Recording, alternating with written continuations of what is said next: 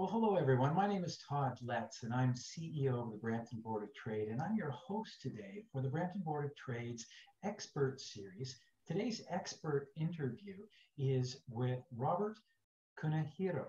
Robert is the Regional Director for Halton and Peel regions for the CFO Center. He's also the Automotive and Advanced Manufacturing Sector Head. Welcome, Robert. Thanks very much. Thanks very much, Todd. I've really been looking forward to uh, our conversation. CFO Center is the number one provider of part time CFO services in Canada and globally. And there certainly is uh, a, a, war on recruiting talent uh, and filling vacancies. And the innovative model, this fast growing business model that the CFO Center has, uh, helps small and medium sized businesses to benefit from the knowledge and experience of top flight large company CFOs at a price that they can afford. So, in, in addition, they, they can benefit, uh, companies can benefit from the network of 80 CFOs across uh, Canada with a variety of specialties in, uh, in both function and, uh, and industry. Prior to his role uh, with the CFO uh, Center and his, again, specialty in automotive and advanced manufacturing, um, he uh, is, is a career CFO, Robert is, having most recently served as a CFO for a $2 billion plus uh, tier one automotive uh, supplier, uh, and that being the ABC Group and Yazaki. He uh, is affiliate, affiliated as a past board member with the APMA, that's uh, the Auto Parts Manufacturers Association, Canada's Automotive Supplier Association. He's also a past board member with the Trillium Network uh, for Advanced Manufacturing and the Accelerate Zero Emissions Vehicle Coalition. Robert, so glad that you're uh, here with us today. And I understand uh, you have some solutions uh, to tell us about for uh, the financial needs of, uh, of companies in, in Brampton and area. We do. We do indeed. Um, and I mean, you Todd, you referenced that we have 80 top flight CFOs across across the country, and we'll get you know more into some of the detail there. But uh, uh, I mean, in terms of in terms of pain points and, and what do we do, our tagline is number the numbers that really matter. And you know, being financial people, you might think that means your profitability or uh, some some other related metric, but but you know, it, it can also be uh, numbers that matter to the business owners and business operators that we work with. And uh, for example, can be things like um, the number of the number of soccer and hockey games of their kids that they're missing, or the number of, of hours that they're working and spending in their in, in airports or uh, or traveling and and you know just really not not getting the most out, out of life. So uh, yeah, I, I know in conversations that you and I have had in the past that um, you really are a, a, partner, a coach uh, to companies that uh, you uh, you come into, uh, and uh, I, I, like how you you describe uh, you, you, like to solve pain points. So it could be the fact that maybe the current CEO or the finance staff is, as you say, burning the midnight oil and, and compromising their family. There's so much change happening right now in terms of uh, finding good people to uh, serve in positions to solve uh, problems. Uh, um, what are some of the most common pain, pain points uh, uh, with business owners and executives that you, you like to best solve, perhaps? So, so I, I would say you touched on one of them right off the bat, Todd, is that a lot of a lot of companies that are growing and growing not only in size but in complexity, have outgrown their top financial person. And you know, so it's it's not that um, it's not that we're we're here to re- necessarily replace that person. We might help to mentor them and help them get to the next level. And and that that might only be a couple days a month, for example. And we we can work on a um, a really you know small involvement, but but even you know even at two days a month or three days a month, uh, we become the CFO for that company. Tell us so, more how that model works. Sure, sure. Well, I mean, I think the first thing to, to, to note is that we work almost exclusively on referrals um, based on the good work that, we, that we've done. Or so we're very, very conscious of making sure that we do do a good job. Um, we are partnered uh, closely with all of the chartered banks and uh, very, very close relationships with the mid-sized accounting firms.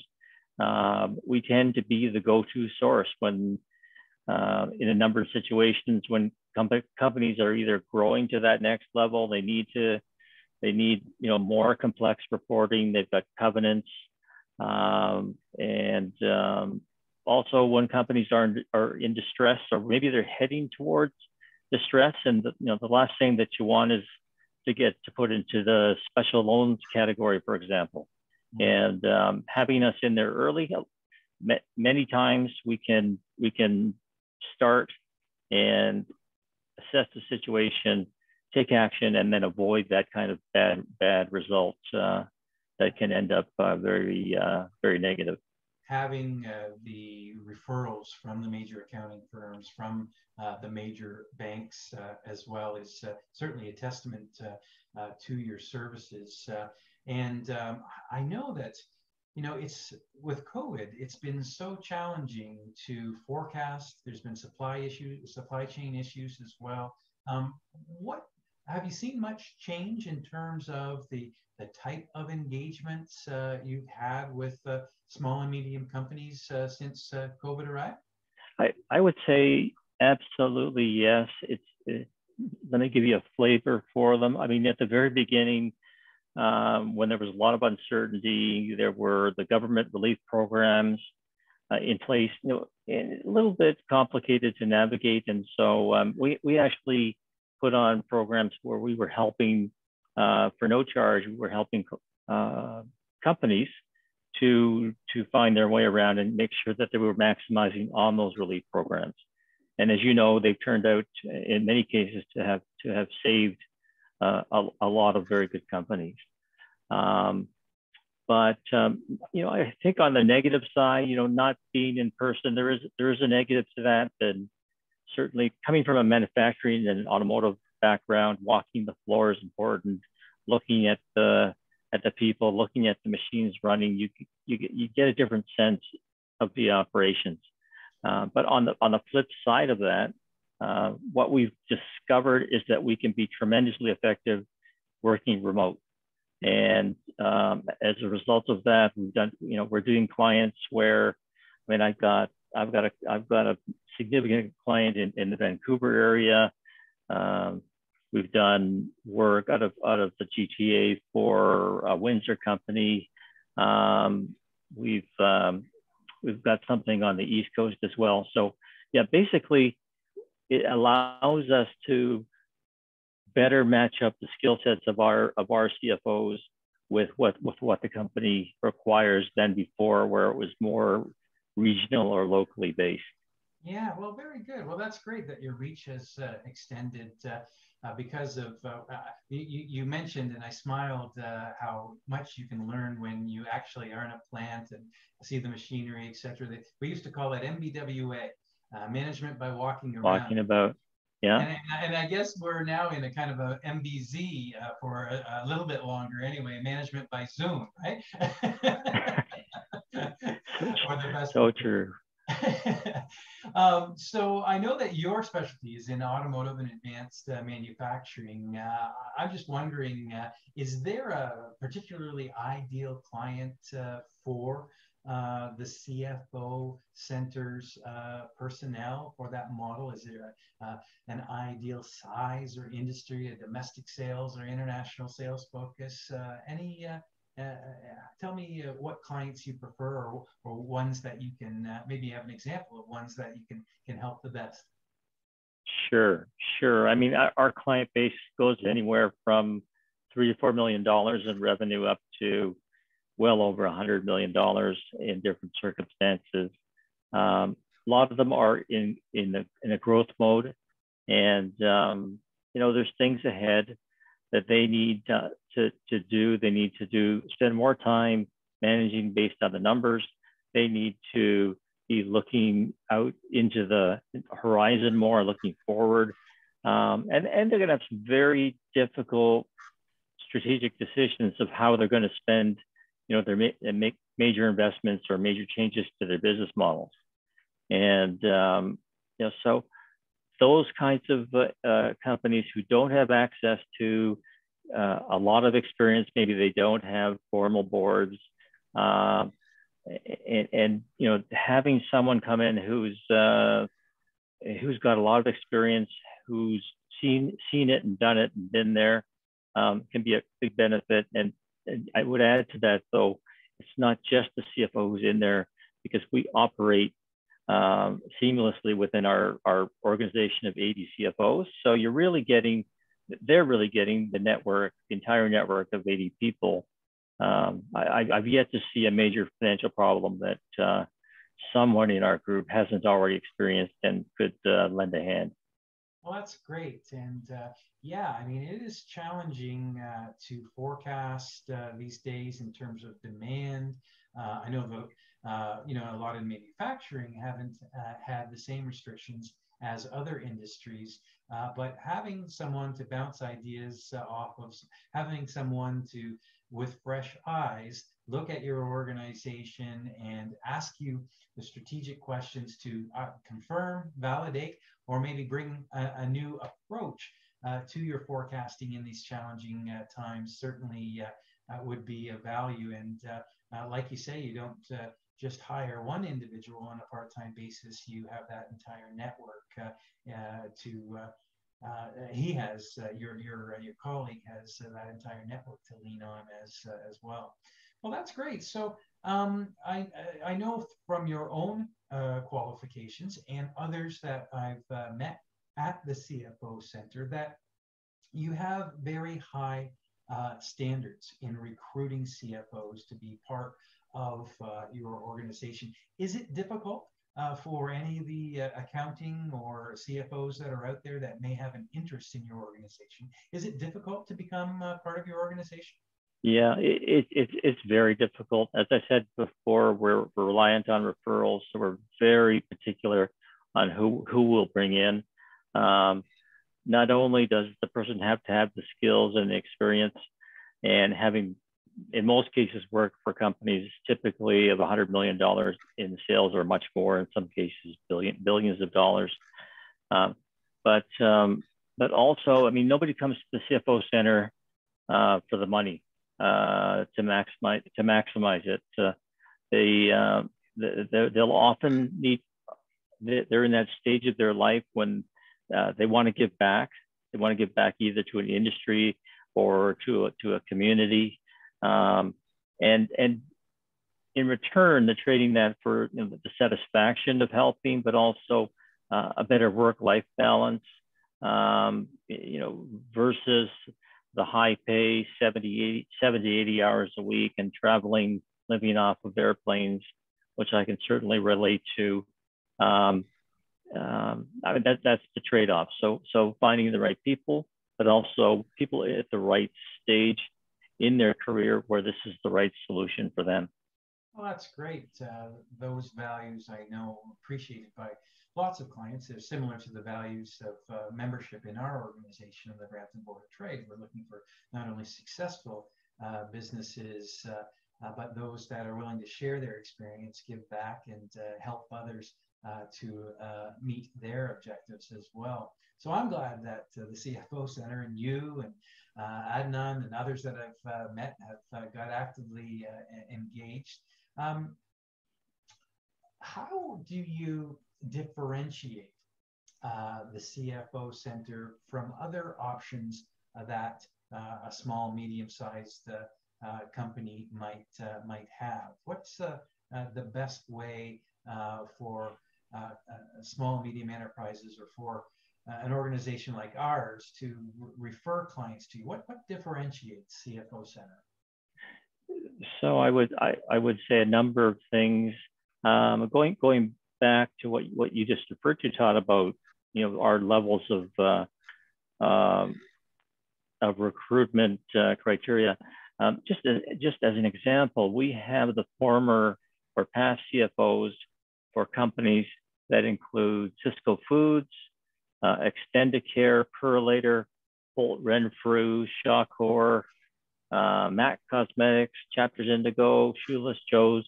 I, mean, I could go on and on, but um, um, you know, we have the superstars. We have the we have the the the CFOs who have been there and done it at, at, the highest level with with some of the top companies in Canada, and so that that's definitely a huge uh, differentiator. And um, you know, we actually don't have a direct national competitor. There are uh, individual organizations that, and, I, and I'm not I'm not uh, saying anything negative about them, but the, the difference between us and some of these other organizations is that our people are uh, they are dedicated to the CFO Center. They, they, they, must, we require that they be committed and dedicated. Um, we have, uh, you know, again, a big difference is the jobs that we do are, are also managed at the top by the regional directors. So if I have, you know, uh, 25 jobs out there with a number of CFOs, uh, I, am going to be managing that that that job to make sure that the customers are getting what they need and that the CFO is performing properly. And as well, we're you know we're conducting ongoing um, training for our uh, for our CFOs because things change and they need to stay up to date um, on on recent developments, be they financial or or um, you know ec economic uh, economically based. Well, um, yeah, yeah.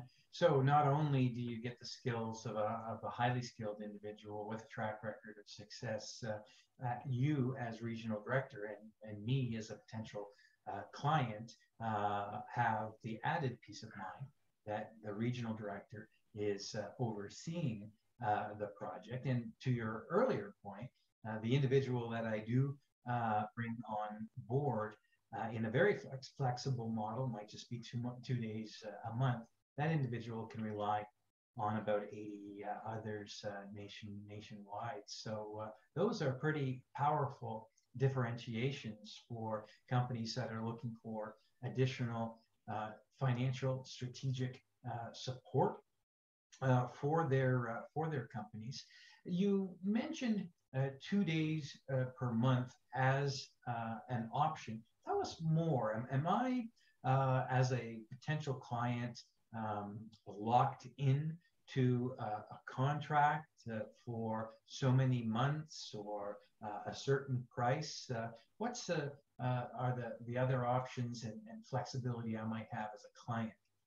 Sure, sure. And I know you're you're you're a business uh, entrepreneur yourself, Todd, and um, and this will sound unusual, but it kind of it, it's it's it's commensurate with our with our you know our will our willingness to give back and our desire to give back is that, that there is no there is no um, commitment whatsoever. So um, if our if our person works well, first of all, we put together a work plan that that you you would sign off on and make sure that you're happy with it and you know because it can, they can be done faster or slower depending on what kind of budget you want to allocate to it. Um, and um, but uh, if after a certain period of time you say, you know what, let's take a pause, or this isn't working for me, we shake hands and we stop and we stop it. Or, or you know, in the very rare case where you say, you know, I'm on to a new stage now, Robert. I think I need a different skill set. Well, that problem is not yours, uh, Todd. That problem problem is mine.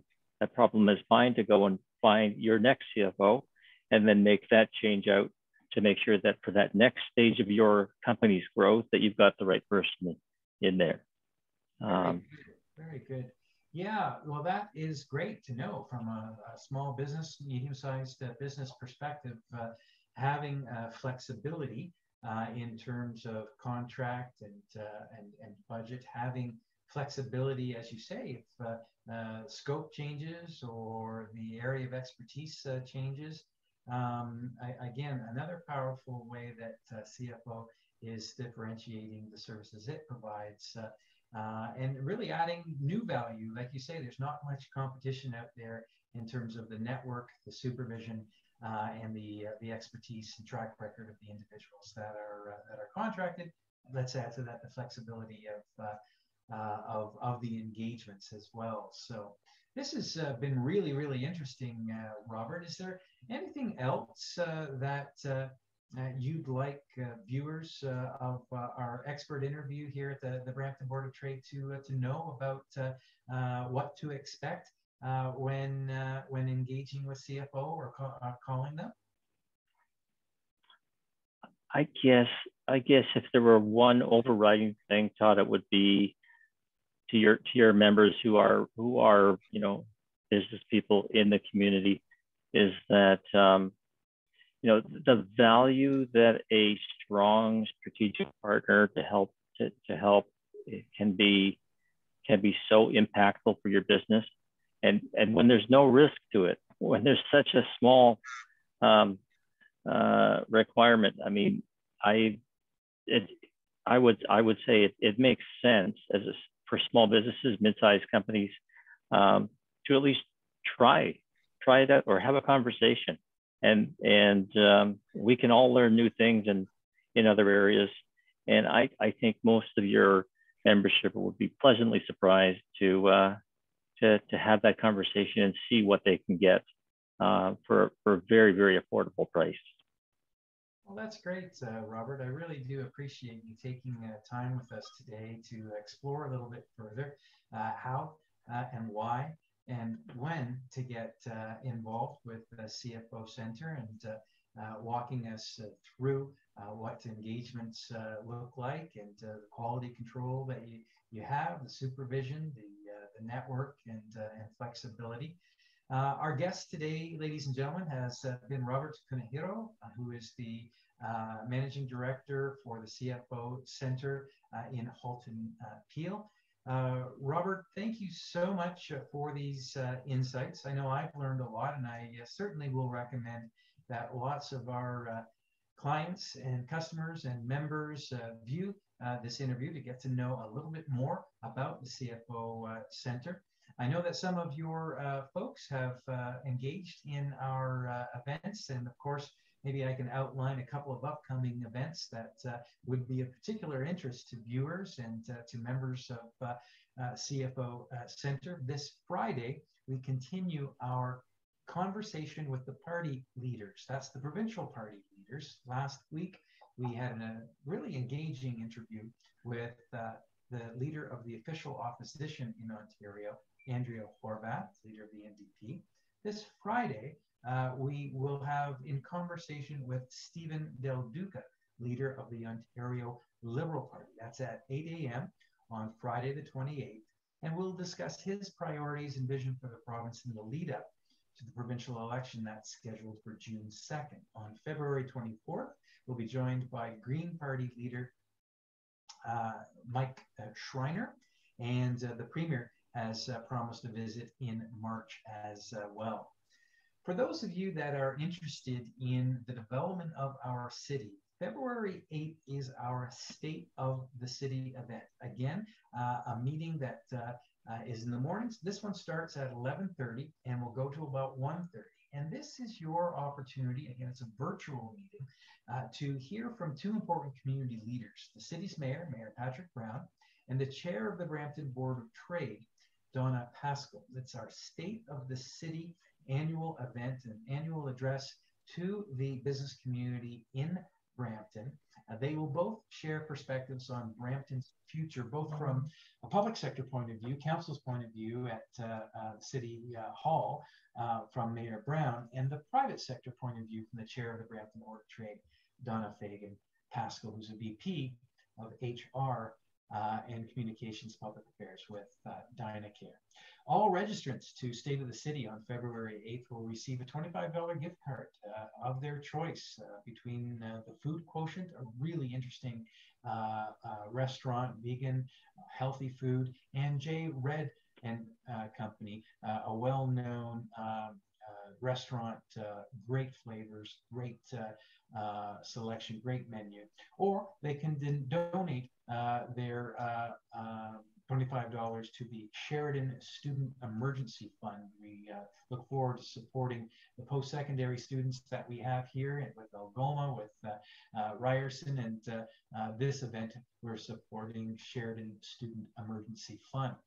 Uh, we'll also show appreciation uh, to Peel Region's finest uh, in awarding what we do annually. We always look forward to this part of our State of the uh, City event, uh, the Brampton Board of Trade Police Service Awards. So one fine member of the uh, police service will be recognized for his or her amazing contributions to the safety of our community and uh, to the police service.